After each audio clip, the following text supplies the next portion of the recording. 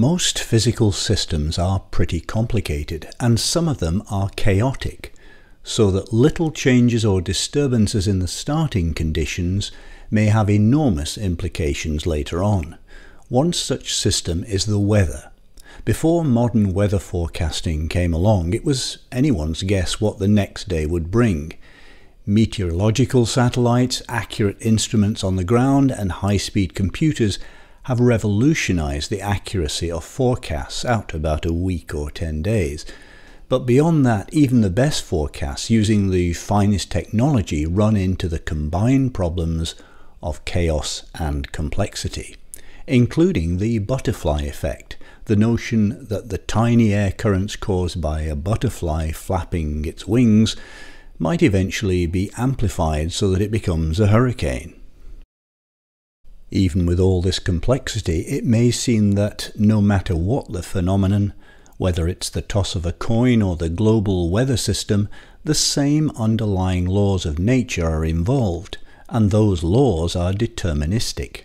The universe, so it was once believed, is like a giant clockwork mechanism, fantastically elaborate, yet ultimately predictable. Two issues, however, stand in the way of this claim. The first harks back to complexity.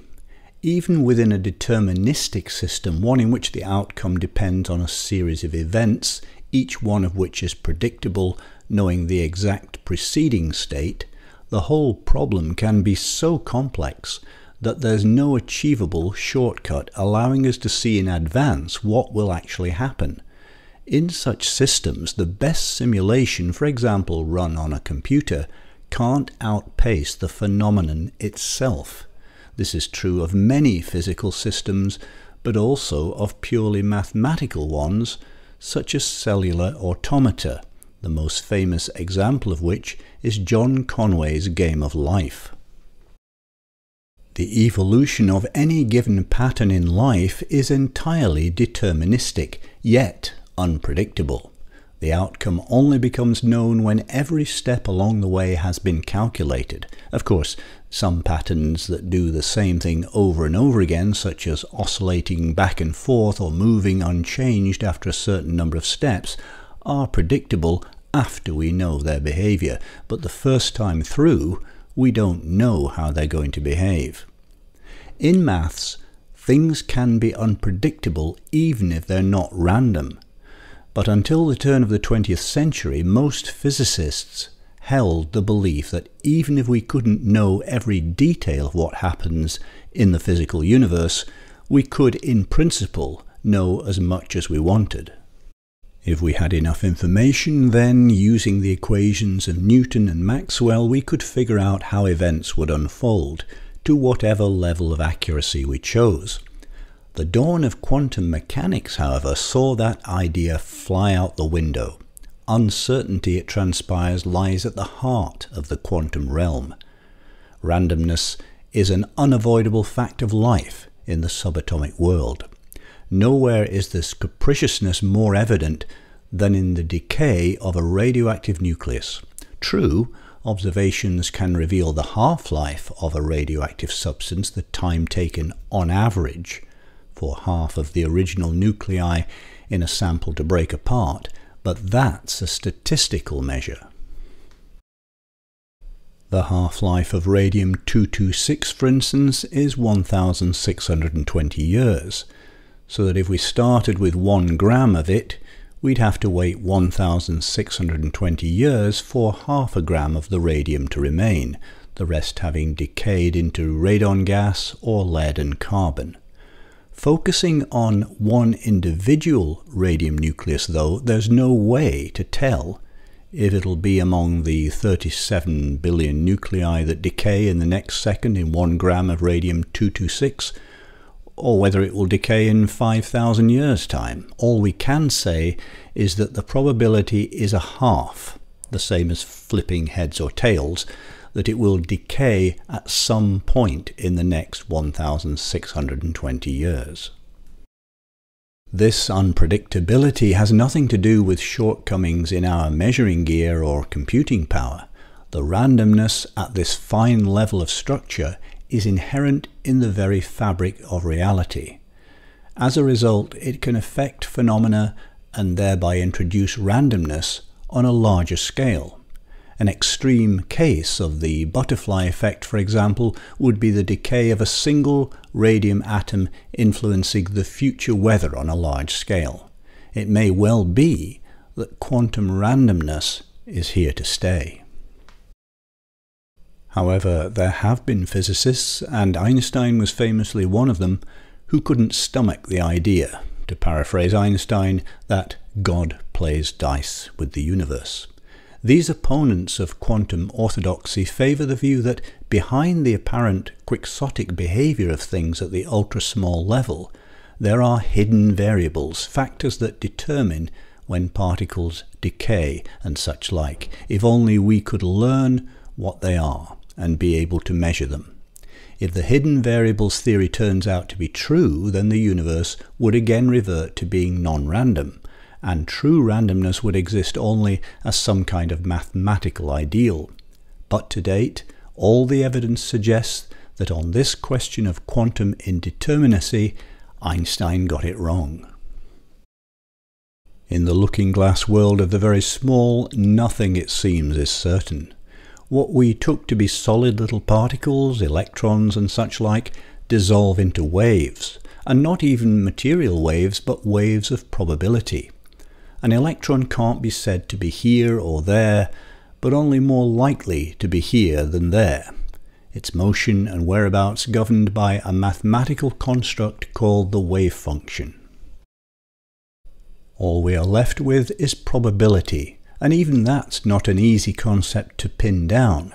There are different ways of thinking about it. The most familiar is the frequentist point of view.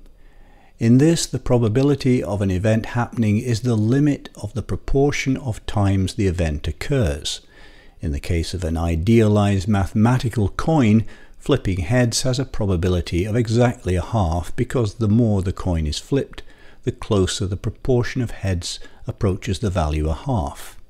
A real physical coin doesn't have a probability of exactly a half of landing heads for a number of reasons the aerodynamics of the toss and the fact that in the case of most coins the head generally has more mass than the pattern on the other side bias the result ever so slightly. The outcome also depends to some extent on which side is facing up before the toss. The probability is roughly 51% that the coin will land the same side up as before tossing, as during a typical toss it's marginally more likely to turn an even number of times in the air. Sometimes, such as for an event that can only occur once, the frequentist way of working out probability is useless. An alternative is the Bayesian method named after the 18th century English statistician Thomas Bayes. This bases its calculation of probability on how confident we are in a certain outcome. For instance, a weather forecaster may talk about a 70% chance of rain, which essentially means that they are 70% confident that it will rain. Where differences between the Bayesian and frequentist viewpoints get especially interesting, though, is when they're applied to mathematical concepts. Think about the question of whether the trillion trillionth decimal digit of pi is 1. There's no way in advance of knowing what the answer is, but we do know that once it's been figured out, it won't ever change. We can't repeat a calculation of the digits of pi and get a different answer than the first time it was done.